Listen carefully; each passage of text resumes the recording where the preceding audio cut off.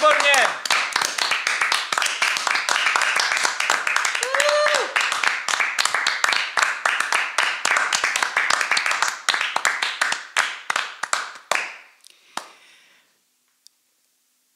Právě proběhlo veřejné nahrávání eh, poslední hry Rádio Ivo, tentokrát bez veřejnosti, takže my netleskáme sami sobě, ale tleskáme za veřejnost, která musela zůstat venku eh, kvůli té velmi, eh, velmi teda totální krizi chřipkové.